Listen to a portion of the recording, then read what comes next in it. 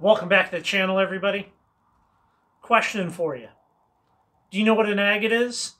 And if you were to see a photo of an agate, would you be able to identify it? Would you be able to identify all agates? What about jaspers? Do you know what an agate really is? Or what a jasper really is? I think a lot of people out there, if you're watching this video, maybe you said yes to those. Maybe you think it's a, a clean cut, clear topic. And I'm kind of here to tell you that you're wrong. It's not. Uh, a lot of it is very subjective. It's up to the person looking at something. And we're going to try to unmuddy the water a little bit. You know, there's a lot of common names that people have for this stuff. And uh, I have behind me, right here on the table, a pretty good selection of different uh, agates and jasper and things that are a mix of the two. And really going to try to unmuddy the waters because I see a lot of incorrect things. I see a lot of people being like, actually, um, put all of that aside. Let's look at what we have here. And if you stay tuned for the whole video, if you learn something, I would love it if you would hit the subscribe button. It means a lot to me as I try to grow this channel and get the word out there about some of these different topics. So let's look at this. Well, what do you think of this display of rocks? Is everything here jasper? Is everything here an agate? What if I told you there were a couple of things in here that were neither one of those? What do you think? Are you able to easily pick those out? And uh, are you sure about your uh, assessment? We're gonna show get really into this. I'll show you what we have here. But first off, let's lay some ground rules because we got to kind of talk about what all of this stuff is. You have rocks, which are made up of minerals. Minerals are made up of elements. Okay, that's everything. All rocks that you would ever see. Um, it's going to land in those cat three categories. Within that, when we start to talk about agates and jasper, they're all microcrystalline quartz or microcrystalline quartzite. That's what they all are. The micro part refers to not being able to see the crystalline structure. So, the difference is can you see the crystals? Okay, do you see the crystals? No, you don't because you would need a microscope to see these crystals. Can you see the crystals? Absolutely, you can see the crystals. This being just quartz. There we go. That's the difference. However, how about something that would trick you up? What about this? Can you see the crystals? You kind of can. What would you call this? Is this microcrystalline quartz or quartz?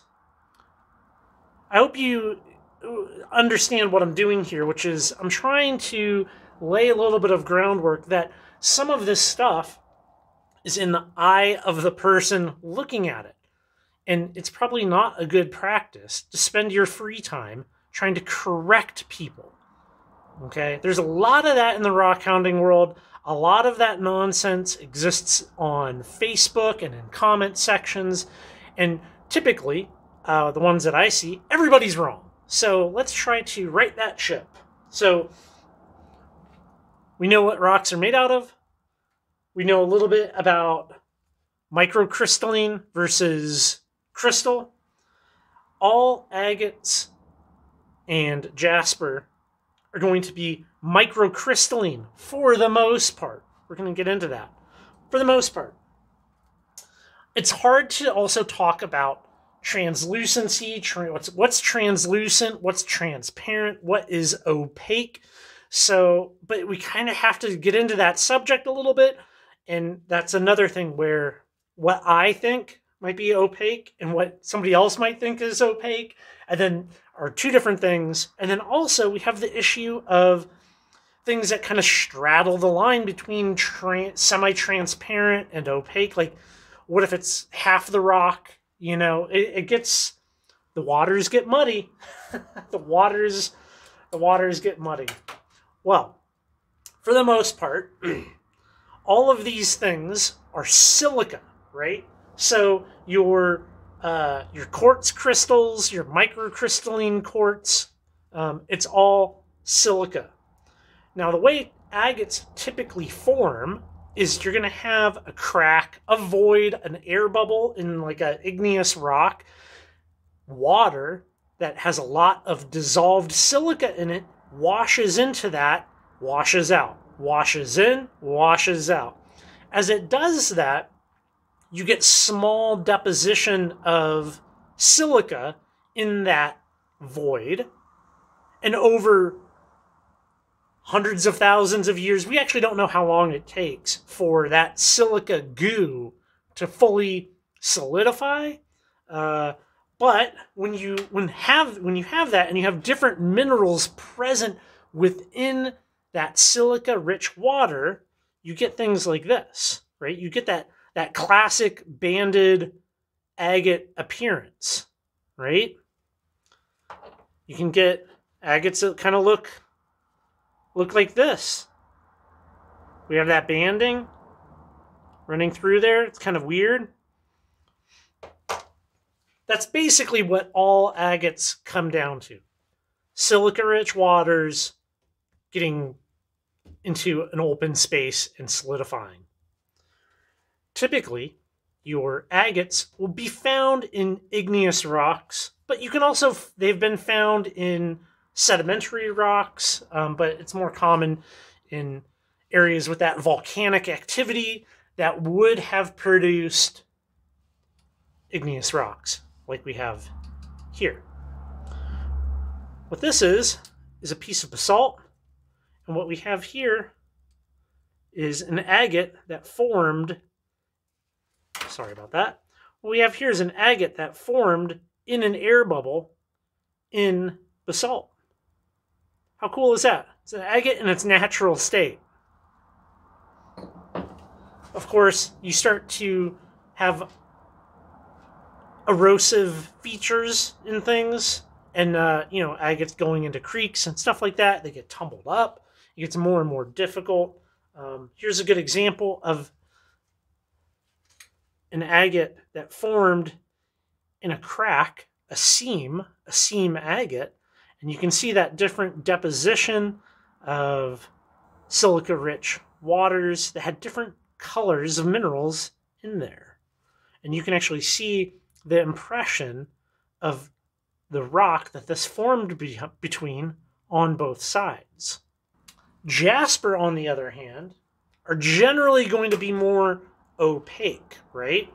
So here we have a piece of jasper, and uh, here we have a piece of chalcedony, which doesn't have much uh, extra mineral to it. It's really just a very pure microcrystalline quartz. I mean, you can see there's a little bit of color, there's a little bit of uh, iron in here, most likely getting that orangish color. But you can see the difference between something that is totally opaque and something that you could be start to get into that translucent, transparent look.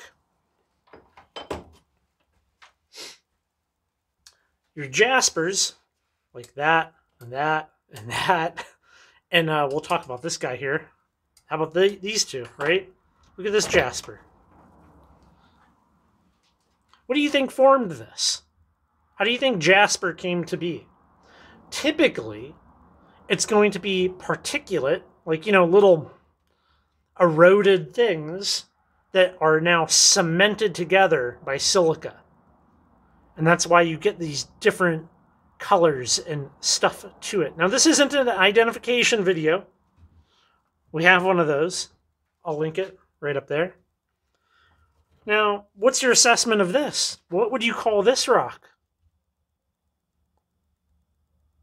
Is this an agate or is it jasper? I've heard people call these things jasp agates. I've heard people call things like this claspers. I've heard all kinds of things, okay? With a rock like this, I would say the answer is somewhere in the middle. You could call this an agate, you could call it jasper, you could call it jasp agate, you could call it uh, microcrystalline uh, quartz, you could call it silica. I mean, you could call kind of whatever. So there's not really a right or wrong answer with this because there's portions of it that are uh, very kind of clear and banded, and wa- uh, light could shine through it, and there's parts that that would not would not be able to. you can also have some very clear agates. You can have agates that have different features. That has uh, botryoidal features on the inside and slight pluming around the edges. Very complex. Or you know, it's it's a big big world out there, right? Do you see anything here that wouldn't fall into that category? We kind of have an idea now of what agates generally look like. You know, they can be all kinds of things, and people will use uh, the common words freely, and I don't think they should really be corrected. I'm not one to uh, get hung up on language. But how about this?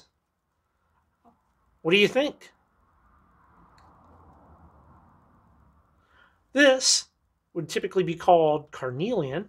Uh, it can come in a number of hues, but essentially, carnelian is microcrystalline quartz, silica, with iron that gets this beautiful orangish red appearance to it.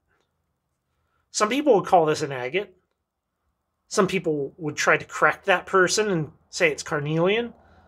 But does that matter? I say it doesn't. It doesn't matter. It doesn't freaking matter to me. Um, okay.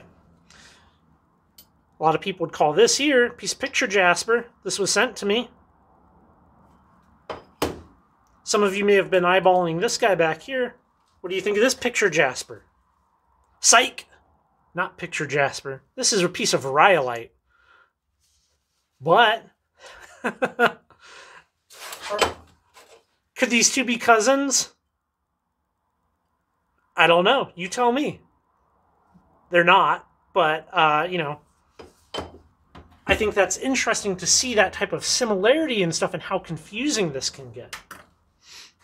Moving right along. What about this guy?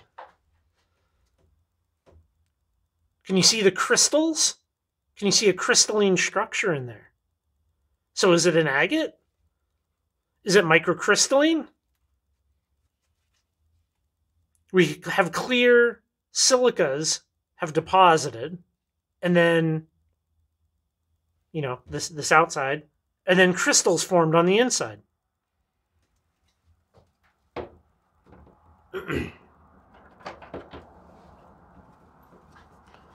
so, is this transparent, translucent, or is this opaque?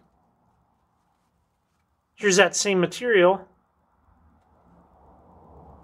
right? You can see little dendrites in there. Sorry about that.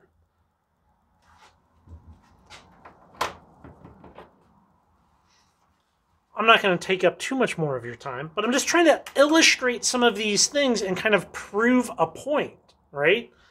That agates and jasper, quartz, microcrystalline, silica, all of this stuff, it's not it's not as cut cut and dry. It's not as clear all the time. What about this? What do you think about this? Agate?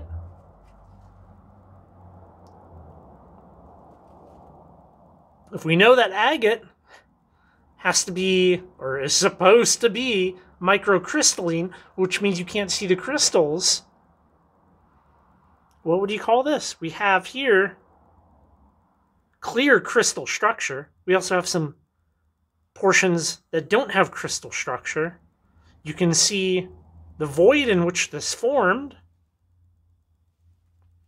It reminds me a little bit of the whole Thunder Egg and Geode thing, right? Like a a Thunder Egg can be a Geode, but a Geode can't be a Thunder Egg. Is that how that goes? a thunder egg can be a geode, but a geode can't be a thunder egg. Um, essentially, uh, that's in reference to the void. We're getting a little in the weeds here, I know. Grab one more thing up here. Thunder egg, geode, a thunder egg that could be geoded. Solid, not solid, partially solid.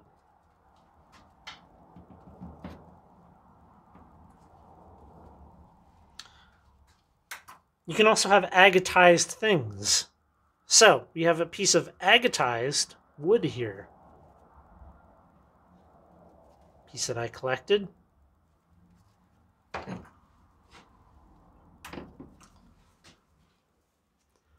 What about this? Is this an agate? It's not transparent. It's not translucent. It's clearly banded. It's definitely silica.